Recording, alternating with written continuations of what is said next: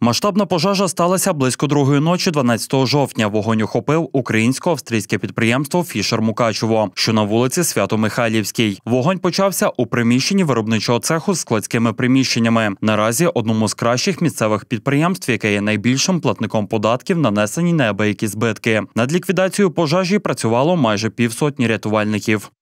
На ліквідацію було спочатку направлено вогнеборців мукачівських пожежно-рятувальних підрозділів, а згодом до них приєдналися і інші пожежно-рятувальні частини.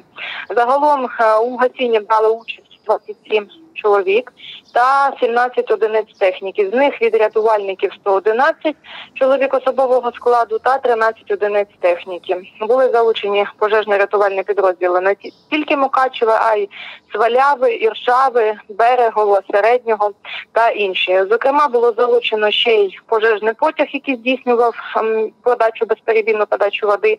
Також залучалися, окрім професіоналів, і дерцинські добровольці. Полум'я охопило площу у 9 тисяч квадратних метрів. Вогонь вирував майже 8 годин. О 4 годині 55 хвилин пожежу було локалізовано, а о 8 годині 35 хвилин остаточно ліквідовано. Працювали пожежники та правоохоронці ще по обіді. Коли надходить сигнал про пожежу на території міста, має інформуватися водоканал, щоб наповнити резервуари водою, тому що вони є на кожному підприємстві. А води, на жаль, вистачає на 30-40 хвилин гасіння. Забезпечити безперебійну подачу води та сприяти її підвезенню контроль над цим має мати влада. Начальник водоканалу каже, сприяли пожежникам у гасінні. Ми включили воду. Просто що в зв'язку з тим, що у нас майже годину набирається наша система, вода поступила в 5 годин.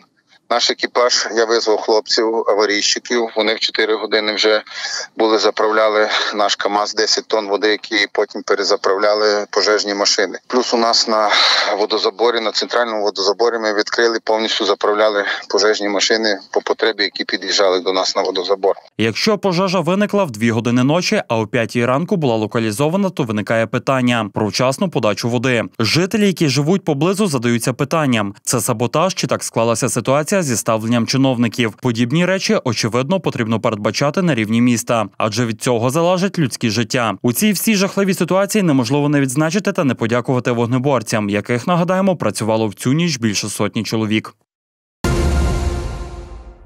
І в продовження теми, як стало нам відомо з власних джерел, пожежники змушені були збирати воду з навколишніх резервуарів. Якби водоканал одразу подав воду до тих ємностей, які потребував фішер, таких збитків вдалося б уникнути. Нагадаємо, коли поступає сигнал до пожежників, що на території міста потрібно гасити вогонь, автоматично інформується водоканал, який зобов'язаний включити подачу води в мережу міста, аби заповнити пожежні резервуари. Чомусь у ніч на понеділок команда подачі води була проігнорована, і її в систему міста не подали за графіком, а як і зазвичай. У водоканалі без вказівок керівництва міста не діють і дорогоцінний час було втрачено. Вибудована система влади дуже неправильна, і, на жаль, в критичних ситуаціях ми всі це бачимо. Шкода, що нанесені великі збитки одному з кращих підприємств у Мукачеві, яке, до речі, є найбільшим платником податків до казни міста. Міський голова чи інші представники влади мали б прийти та поцікавити ситуацію. Чи принаймні хтось з керівників чи начальників управлінь та департаментів міської ради? Однак ні. Як місцева влада підтримує підприємства? І чи по-людськи це? Очевидно, ні. А може, організована з квадрокоптера зйомка близькими до влади ресурсами і є вся допомога? Питання відповіді не потребує.